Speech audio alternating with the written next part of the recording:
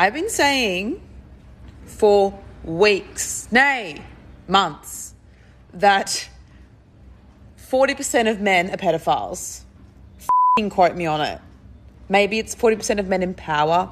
Maybe it's 40% of white men in power. Maybe it's 40% of celebrities. But there is a stat somewhere that almost half are f***ed.